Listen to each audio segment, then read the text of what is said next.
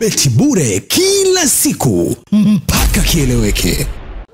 Uh, wanasema kukosa kujiamini uh, baada ya hizo tetesi kuwa kubwa. Kwa hiyo klabu ikaona kuna lazima kutoa taarifa, na tukawaomba mashabiki wetu kuanzia sasa hivi tusitumie uh, uh, mitandao ya kijamii, tusitumie watu ambao sio wa Young Africans.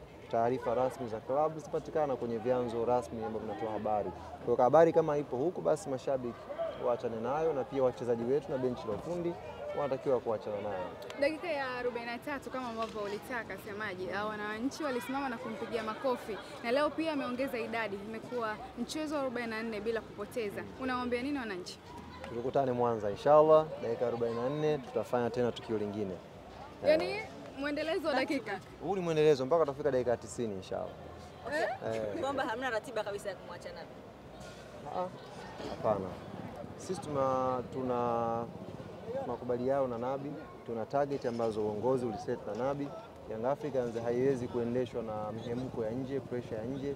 Sisi tunaangalia malengo ambayo tuko nayo na nini tulikubaliana na mwalimu. Kila mwalimu anajua, na unapoajiriwa ina maana upo karibu kuondoka, ndio ipo hivyo kwenye karia ya kochi. Kwa hiyo anaweza kuondoka wakati wote, lakini haitatokana na pressure ya nje, atokana na sisi na yeye kushindwa pengine kufikia yale ambayo tumekubaliana kwenye mkataba ambao Young Africans iliingia nayo.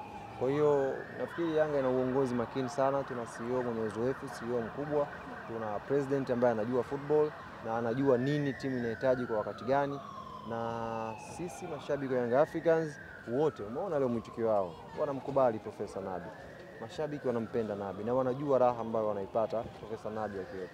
Ambao wanaumia ni wale ambao wanapata karaha na Profesa Nabi akiwepo uh, Young Africans. Kwa hiyo swala la yeye kuwepo I can guarantee, swala la kuondoka guarantee, kwa sababu is football, inaweza ikatokea lolote wakati wowote, lakini current hapa kuna hiyo tetesi yoyote ambayo inasema Young Africans wanaachana na Nabi. Sijui nani alianzisha na sijui alikuwa na nia gani kwenye kuianzisha, lakini mashabiki wa Young Africans vyanzo vya ndani Vyanzo vya ndani ni vipi? Hapana, vyanzo vya ndani vya club ni, ni, ni application yetu, ni website yetu, ni Instagram page yetu, ndio tutatoa taarifa ya ndani ya klabu. Hiyo vyanzo vingine vya ndani, naamini ifike wakati sasa mashabiki wa Yanga wanaelewa ni vyanzo tu vya kipropaganda ambavyo havina afya kwa klabu yao. Okay, ali juzi lilikuwa limetrend goli la Aziz Ki. Leo hii umesema juhudi binafsi za goli la ambalo walifunga Faisal. Mm. Uh, unaweza ukalichambuaje goli la Faisal? Kiukweli bwana, lile goli ah, unajua nilikuwa pale pressure itakuwa kubwa eh. Eh, hata ile concentration ya ku yani unaona tu Bigimana kashika mpira sijui Azizi yule kashika mpira sijui kampasia nani pale mara yeye kamba. Kwa hiyo sikufocus yani kujua hata kwa mpaka baadaye nikishika simu nianze kupitia pengine naweza kuelezea vizuri, lakini kwa wakati ule nilikuwa kama shabiki mwingine wa kawaida nikishangilia kile ambacho kimetokea. Maandalizi sasa kwa ajili ya mchezo unaofuata mkiwa ugenini kule. Ni mchezo mgumu sana na ndio maana uh, ratiba ambayo nafikiri kesho tutatangaza ratiba rasmi, timu inaondoka lini kwenda Mwanza, lakini kama tufahamu tunakwenda Mwanza mechi tarehe 29 alafu tarehe mbili tuna mchezo wa shirikisho hapa Benjamin Mkapa. Kwa hiyo tuna ratiba ngumu na Geita ni timu ngumu, tumeiona mchana ikicheza hapa na Ruvu Shooting, imeweza kupata ushindi ugenini, kwa maana yake watakwenda nyumbani wakiwa na confidence kubwa zaidi. Kwa hiyo inaweza kuwapa nguvu na mchezo kwa mgumu zaidi, lakini tunaamini sisi tuna wachezaji wazuri, tuna mwalimu mzuri na tutapambana kuhakikisha tunapata unbeaten 45. Unajua kila nikisema unbeaten nasikia raha, Tu kwa nini? Hebu sema na wewe kidogo. Okay, Ali Kamwe, labda kuna kuna kuna uwezekano labda ukatuambia kwa sababu ndio idara ya habari na mawasiliano hali za wachezaji kina Morrison, maana tulikuwa tunajua Morrison ana adhabu ya mechi Yeah. tatu, lakini mechi tatu yani zimemalizika. Mechi leo watu walitamani kumuona akucheza, kucheza, lakini pia Fiston Maila ambaye tumesikia kwamba anauma, Morrison nafikiri hii ndio mechi ya mwisho kwenye adhabu. Ya mwisho? Eh, leo ndio mechi ya mwisho. Kwa kama mwalimu atawahi nafaa atamtumia kwenye mechi na Geita.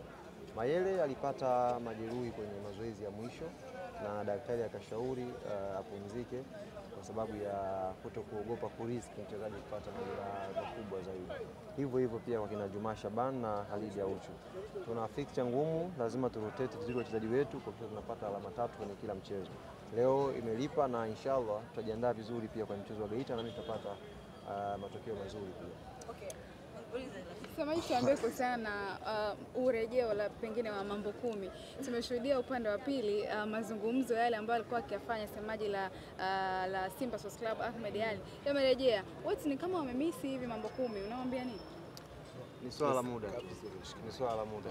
Tujipe muda, inshallah tunajaribu kuandaa. Unajua, unapotoka kwenye taasisi nyingine kwenda kwenye taasisi nyingine, hawezi ukafanya vitu ghafla binivu. Lazima uende kwa taratibu, ustructure vitu vyako, uangalie ratiba yako na wewe, kama muda bado upo wa kufanya hivyo vitu, basi tuta- tutarejesha. Mfano kama unaona leo mechi imeisha tu, nyinyi wote mmekuja hapa. Ah, Ningekataa, sitaki kuongea, naandika mambo kumi, ningeenda kuniandika alikama, nataka kuzungumza na waandishi wa habari. Kwa hiyo lazima niangalie uh, mpangilio wa taasisi ilivyo, majukumu yangu ya taasisi ya msingi, kisha nitajaribu kuona kama anaweza nikairudisha mambo kumi kwa Young Africans. Mipango pia ni ipi kuhusiana na Young Princess? Tumeshuhudia pia upande wa pili ni kama wameweka uh, mipango mikubwa sana, udhamini umewekwa. Mipango ya Young Princess ukizingatia amefanya pia usajili mkubwa kuhakikisha na inafanya vizuri kimataifa, lakini pia kwenye ligi. Young Princess nafikiri hatua uh, ya kwanza ilikuwa ni kwenye kujenga timu yenye ushindani, na hiyo tumeifanya vizuri. Wote ambao mmetazama mchezo wa kirafiki mmeona tuna quality imeongezeka kwenye timu,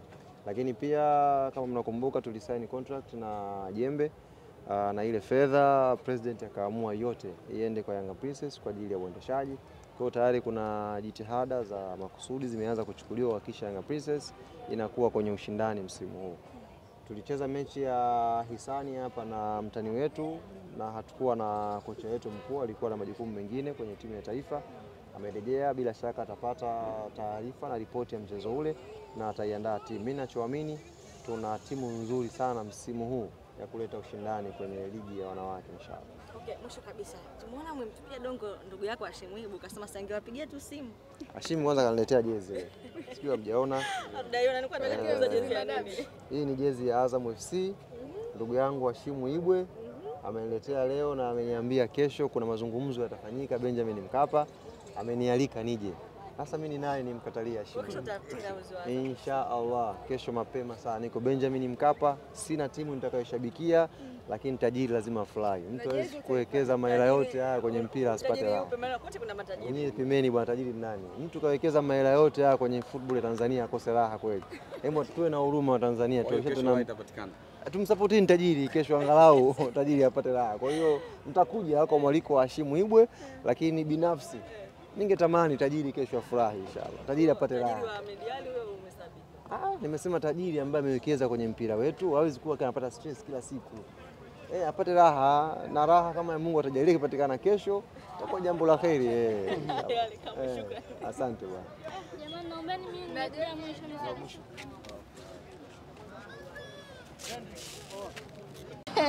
Kwanza mimi nawakumbusha watani kwamba timu ya Azam wanao Agrey Morris sio rahisi. Kwanza ni kocha mchezaji, sio rahisi kukubali yeye ani aonyeshe kwamba yeye bado ni Simba mbele ya Gray Morris, kwamba huyo Firi ataishia pale pale alipoishia, hawezi kuonekana. All the best Azam, nawapenda sana. Kwa kipindi cha kwanza cha mchezo tumeonyesha kuna wachezaji hawakuwa katika kiwango kizuri kama Mnyeto na mwenzake Kisenda, wanachukuliaje? huo ni uwezo wa mchezaji, ndio maana nani kocha akaliona akawafanyia sababu, lakini pia na wachezaji wetu, sio kila siku mchezaji atamka akiwa kwenye fomu. Ndio maana kukaa na first 11 na kukaa kuna sabu, sio kila siku mchezaji atamka kwenye fomu, lazima mnoti hicho kitu. Unahisi ukosefu wa mchezaji kama Mayele leo ndio umefanya kukosa kukosa magoli kwa kipindi chote hicho? Hapana, sio kweli. Nishawaambia mpira una njia zake, mpira una mbinu zake. Mchezaji anaposajiliwa kuingia katika timu anajua jukumu lake. Mimi sijaona ambacho kimekosekana pale mbele, kwa sababu kama ni Mayele, Mayele ana tekniki zake, hawezi kumchukua striker mwenzie akampachika kile alichonacho, kwamba striker ukipewa kazi ujue unafanya nini pale ndani kwamba Mayele kosekana kwamba sio tumekosa ushindi mzuri, sio kweli. Hizo ni fikra potofu sana sana.